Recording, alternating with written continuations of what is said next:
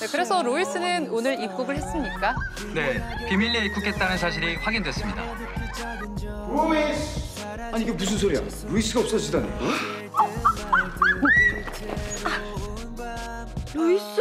정체부터 밝히시지? 벗어다. 뭐가 안 돼? 뭐가 안 돼? 아 돈 좀 빌려줘.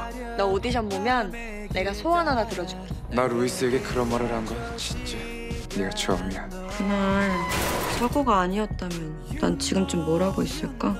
우리 회사 처음 들어왔을 때 했던 말 기억해? 루이스를 넘어서겠다고 했죠. 루이스랑 시오랑 콜라보하는데 지금 여기 왔어. 이소린, 한때 님을 필드에서 딱 만난 그 느낌이 어떠냐?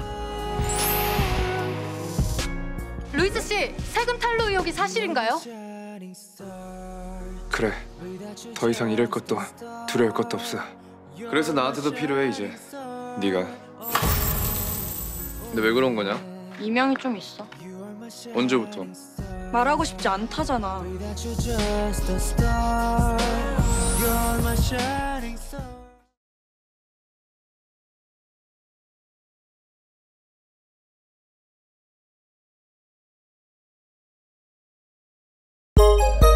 View